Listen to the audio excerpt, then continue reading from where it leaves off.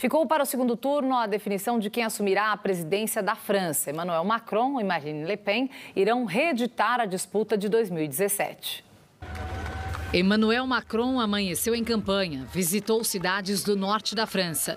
O candidato à reeleição ouviu críticas dos moradores e prometeu melhorar suas propostas de reforma da Previdência.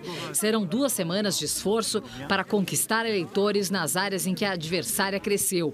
E as pesquisas apontam que o segundo turno deve ser ainda tão apertado quanto o primeiro. União Europeia e OTAN acompanham com apreensão os movimentos da candidata de extrema direita. Marine Le Pen se posicionava contra o bloco e pregava a saída da aliança militar ocidental. Agora suavizou o discurso e direcionou os questionamentos à situação econômica do país. Macron enfrenta o desgaste dos anos de mandato, como os impactos da pandemia e da guerra na Ucrânia e da onda de protestos dos coletes amarelos. Por isso, os apoios dos derrotados ganham importância.